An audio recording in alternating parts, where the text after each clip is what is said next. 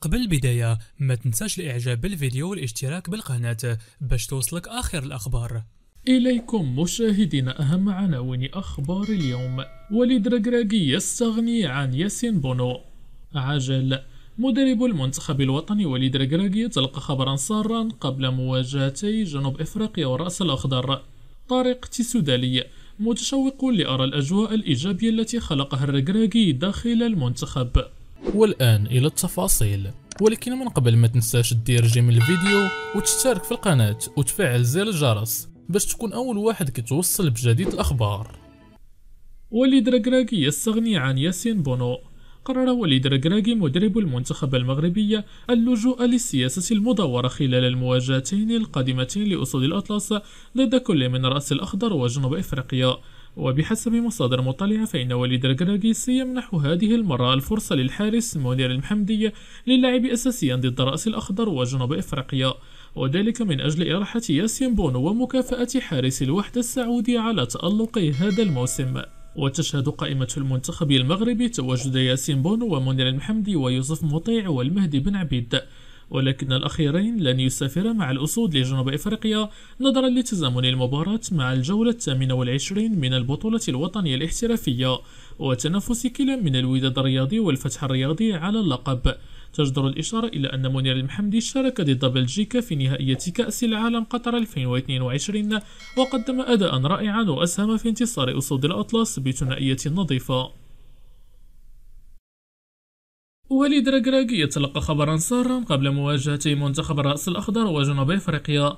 أبلغ ديفيد مويس المدرب الخاص بفريق ويست هام يونايتد الإنجليزي لكرة القدم الناخب الوطني وليد ركراكي بخبر سار.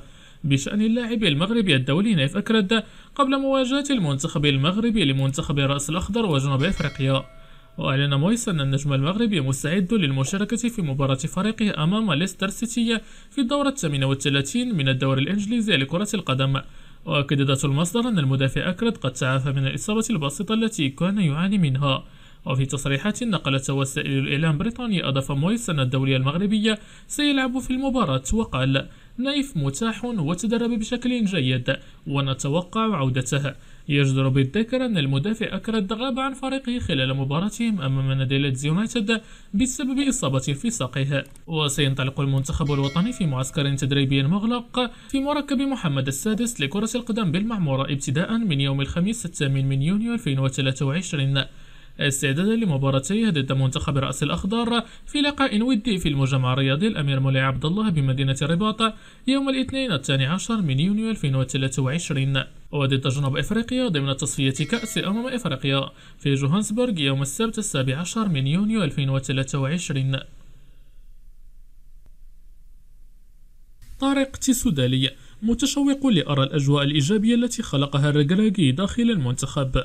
أبدى الدولي والمغربي طريق السوداني المحترف في صفوف الجنة البلجيكي لكرة القدم سعادته بالعودة إلى لائحة أسود الأطلس بعد غياب طويل بسبب الإصابة التي أبعدته عن المشاركة في كأس العالم قطر 2022 وأكدت السوداني في تصريح خاص به موقع وين وين أنه افتقد الأجواء التي كان يعيشها رفقة المنتخب الوطني المغربي.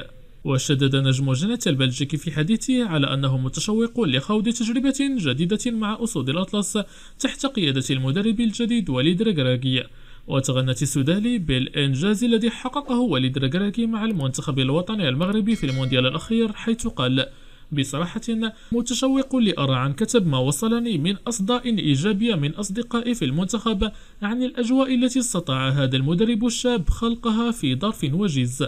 وأضافت السودالية أنا سعيد لعودتي أولا وأشكر الله على شفائي. لست من النوع الذي يشكو كثيرا واستدعائي للمنتخب المغربي هو مكافأة بالنسبة إلي. وتبع أريد أن أعود كما كنت في السابق وإيماني شديد بقدرتي على ذلك قريبا. عموما سأنتظر الموسم المقبل الذي سيكون بداية جديدة لأن جميع اللاعبين في الفريق سيتوقفون عن التدريبات في هذه العطلة. وسنبدأ جميعا من الصفر. وكان وليد ركراكي كشف يوم الجمعة الماضية عن لائحة اللاعبين المشاركين في مباراة رأس الأخضر الودية. يوم الثاني عشر من يونيو المقبل بالرباط. قبل مواجهة جنوب أفريقيا بجوهانسبورغ يوم السابع عشر من الشهر نفسه لحساب تصفية كأس أفريقيا للأمم الكوت ديفوار 2024 الركراكي يفسح المجال أمام أسماء جديدة ضد الرأس الأخضر.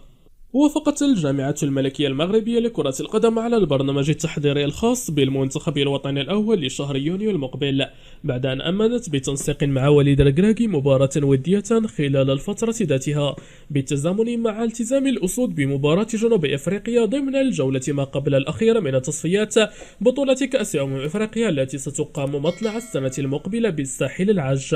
وبرمجت الجامعة مباراة ودية أمام منتخب الرأس الأخضر في الثاني عشر من يونيو المقبل. تقرر إجراؤها بالمجمع الرياضي الأمير مولي عبد الله بمدينة الرباط وذلك قبل السفر إلى جنوب إفريقيا لمواجهة أصحاب الأرض بتاريخ السابع عشر من الشهر ذاته بملعب سوكر سيتي بالعاصمة جوهانسبورغ عن الجولة الخامسة ضمن منافسات المجموعة الحادية عشر من التصفيات المؤهلة إلى بطولة الكان. وهي المباراة التي اختير لها طاقم تحكيمي متنوع من قبل لجنة التحكيم التابعة للكاف.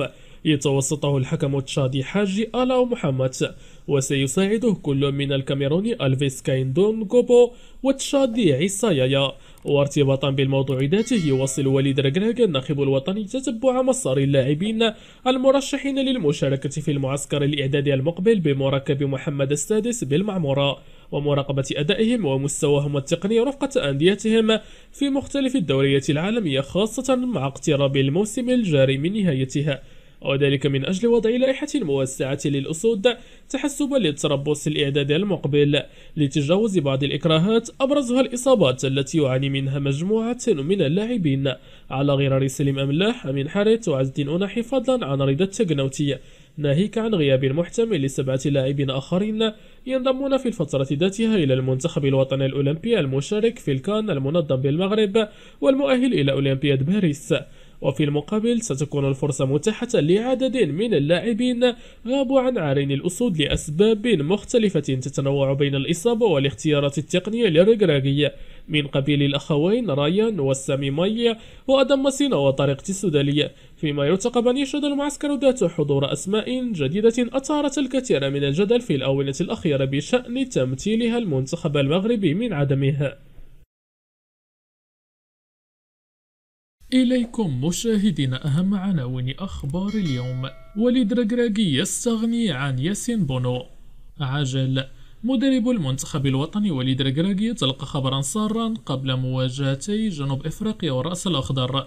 طارق تيسودالي.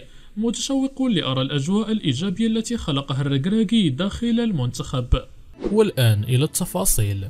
ولكن من قبل ما تنساش دير j'aime الفيديو وتشترك في القناة وتفعل زر الجرس. باش تكون أول واحد كيتوصل بجديد الأخبار.